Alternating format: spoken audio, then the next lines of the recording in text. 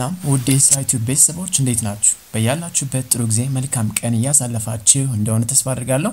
የተለያዩ መረጃዎችን ይዤ ወደ እናንተ መጥቻለሁ። ጥቁር ገበያ ጨምሯል። እንዴት ነው ምንድን ነው ያለው እናያለን። እንዲሁም ደግሞ የባንክ የምንዛሬ ዋጋዎችንም ነግራችኋለሁ። አጠቃላይ ውጭ ሀገር ላላችሁም ሀገር ቤት ላላችሁም ምንስ ታቅዷል? በመንግስት በኩል ምን አይነት ጥሩ ነገሮች አሉ? በተለይ ዶላር ላላችሁ ሰዎች የሚሆኑ አማራጭ መረጃዎችን ነግራችኋለሁ። አብራችሁኝ ነው ዝርዝር መረጃውን ልንገራችሁ። እንግዲህ ዛሬ የባንክ መረጃ በተመለከተ 52 ብር ከ94 እየተገዛ 54 ብር እየተሸጠ መሆኑን ሰምተናል። የአሜሪካን ዶላር ማለት ነው። እንዲሁም ደግሞ የተለያዩ ዋጋዎችንም እንደዚሁ ስናጣራ ፓውንድ 57 ብር ከ53 ሳንቲም እየተገዛ በ58 እየተሸጠ ነው። ሌሎችም እንደ ዩሮ የመሳሰሉት 52 ብር ከ60 እየተገዙ 53 ብር እየተሸጡ ነው። 53 ብር ከ65 ሳንቲም።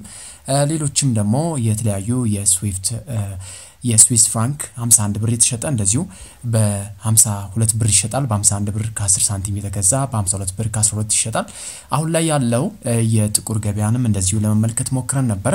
በአጠቃላይ ምን ይመስላል ወቅታዊ የጥቁር ገበያ ሁኔታ የሚለውን ማለት ነው። ሳይቲዩብ ከተለያዩ መረጃዎች ነው ይህንን ለመሰብሰብ የቻልነው። እንዲሁም በተለያዩ የአዲስ አበባ ጎዳናዎች ላይም እንደዚሁ ምን ይመስላል የሚለውንም ከውስጥ ምንጮቻችንም ለማግኘት ሞክረናል። አሁን ላይ የጥቁር ገበያ ኢትዮጵያ ውስጥ ያለበት ሁኔታ ከ50 ብር ልዩነት በላይ ሆኗል። የባንክ እንግዲህ እንደነገርኳቸው 53 ብር አካባቢ ነው። ከ50 ብር በላይ ልዩነት አምጥቷል፣ ጨምሯል። ድሮ ከነበረው ከ40 ብር ልዩነት ከ35 ብር ልዩነት ከፍ ብሎ ከሮብ ጀምሮ ማለት ነው ያለን መረጃ ከፍ ብሏል። የ50 ብር እና ከዛ በላይ ልዩነት ማምጣት ችሏል። ይህም እንግዲህ በተለያዩ ምክንያቶች ነው። የጥቁር ገበያ ይሄ ነው የሚባል የሚጨበጥ ምክንያት የለውም። አንዴ ብድግ ይላል፣ አንዴ ይነሳል። የተለያዩ ውጭ ሀገር ግንኙነት ያላቸው እንዲሁም ሀገር ቤት ከዚህ ጋር ግንኙነት ያላቸው ጉዳዮች ሲጨምሩ አብሮ ይጨምራል። እንዲሁ ደግሞ ሲቆሙ የሚቆምበት ሁኔታ ነው ያለው።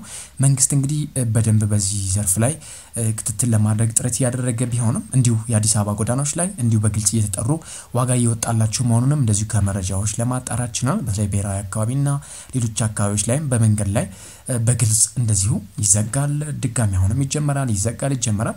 አሁን ላይ ግን ያለበት ሁኔታ ነው የሚመስለው። በሀገር ደረጃ ከፍተኛ የሆነ አሉታዊ ተጽዕኖ እንዳለው ሁላችን እናምናለን። እኛም በዚህ ስናስተላልፍ ህጋዊ የሆኑ ሌሎች ከጥቁር ገበያ የተሻሉ አማራጮችን ነው ይዘን የምንመጣው። የቢዝነስና የዓለም አቀፍ የጉዞ የውጭ ሀገር መረጃዎችም ቻናል ስለሆነ እንደ መረጃ ግን ይዘን ስንመጣ አማራጮችን ይዘን ነው። ለምሳሌ ያክል ውጭ ሀገር የምትኖሩ ሰዎች ሀገር ቤት መታችሁ ዶላር ኖራችሁ ስራ ለመስራት የምትፈልጉ ከሆነ በዲያስፖራ ኤጀንሲ በኩል የተለያዩ የማህበር ማደራጀት ስራዎች ይሰራሉ። እነዚህም የማደራጀት ስራዎች ምንድነው ጥቅማቸው? የተለያዩ ቦታዎች ይሰጧቸዋል። እዛ ላይ ደግሞ አንድ ላይ ሆናችሁ እንደ ኢንዱስትሪ ፓርኮች፣ ፋብሪካዎች፣ ሌሎች ላይም እንዲሰሩ መንግስት በጣም ጥሩ ጥረት እያደረገ ነው። ይህም በግልጽ ያየነው ነው። እንደ travel channel እንደ business channel በደንብ ገምግመን የሚያየነው ነው። በጣም ብዙ አይቆይም። ባጭሩ ትሰበሰባላችሁ። በጣም ብዙ ቤቶች እየተገነቡ ነው ያሉት የኢንዱስትሪ ፓርኮች። በተለይ በህጋዊ መጥቶ ለመስራት የሚፈልጉ ሰዎች በዶላርም በካሽም በተለያየ መልኩ ገንዘቦቻችሁን አንድ ላይ አድርጋችሁ የምታዋውቁ ሰዎች መስራት የምችሉበት እድል ተመቻችቷል። ስለዚህ እሱን እሱን ማድረግ ትችላላችሁ። በተለይ ውጭ ሀገር ያላችሁ ሰዎች የዲያስፖራ ኤጀንሲ ማግኘት ትችላላችሁ። ስልክ ቁጥራቸውን፣ አድራሻዎችን እንደዚሁ እናቀብላለን። ስለምሰጡን አስተያየት የሆነት ከልብ ነው የምናመሰግነው። ውጭ ሀገርም ሀገር ቤትም ያላችሁ ሰዎች፣ ስለዚህ ውጭ ሀገር ያላችሁ በዚህ መልኩ መጠቀም የሚችሉበትን መንገድ ነው የምንነግራችሁ። እንዲሁም ደግሞ ከዚህ ጋር በተያያዘ ሀገር ቤት ደግሞ ያላችሁ ሰዎችና አንድ ላይ በህብረት መስራት የምትፈልጉ ሰዎች ካላችሁ እንደዚሁ እናንተም የተለያዩ ኢንዱስትሪ ፓርኮች ውስጥ መግባት ትችላላችሁ። በጣም የሚገርመው በዚህ የኢንዱስትሪ ፓርክ ጋር በተገናኘ ያለው መረጃ ውጭ ሀገርም ሀገር ቤትም ያላችሁ ሰዎች ስትሄዱ ቤቱ ይሰጣችኋል። የስራ ቦታ፣ መስሪያው፣ ሁሉ ነገር የተሟላ ነገር ነው የሚሰጣችሁ መንግስት። ከዛ በኋላ ያንን ከወሰዳችሁ በኋላ ምንድነው የሚደረገው? በሊዝ ይሰጣችኋል ማለት ነው። ይሄ ለአምስት ዓመት ለአራት ዓመት መጀመሪያ ይሰጣችኋል። ከዛ በኋላ ያንን ስጨርሱ ደግሞ በድጋሚ በሊዝ ቦታውን መውሰድ የምችሉበትን እድል ያመቻቻል ማለት ነው። ሁለት ጥቅም ነው የሚሆነው። አንደኛው የስራ ጊዜ ነው፣ ነፃ ነው የምትሰሩበት፣ የምታዩበት፣ ቢዝነሳችሁ የምታሳድጉበት ጊዜ ነው። ሁለተኛው ደግሞ እንዲሁ ያንን ቦታ ስትፈልጉት በሊዝ ለመቶ ዓመት ለአምሳ ዓመት ለሰላሳ ሀያ ዓመት የምትገዙበት ነው እና ይሄ እንደ ኢንቨስትመንት ነው። ስትወጡም ሽጣችሁ የምትወጡበት ሊዝ ስለሆነ ማለት ነው እና ይሄ እድል ሊያመልጣችሁ አይገባም። ምን ያክል ሰው ይሄንን አግኝቶታል፣ አውቆታል፣ ተረድቶታል የሚለው በየጊዜው መረጃው ስለሚወጣ እናንተም ተጠቃሚ እንድትሆኑ ነው። ምን ያክል ሰው በየጊዜው ይመጣል ለምትሉን ሀምሳ ሰው አርባ ሰው ሀያ ሰው እየሆኑ ይደራጁና ተሰብስበው አንድ ላይ ቦታና ቤት እየወሰዱ እየሰሩ ነው ያሉት።